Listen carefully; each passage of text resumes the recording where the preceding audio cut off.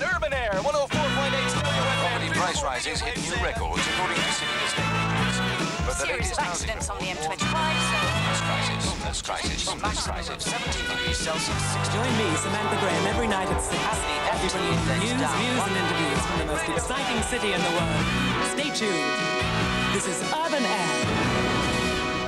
Urban Air News headlines at 6.45 read by Charles Gregson.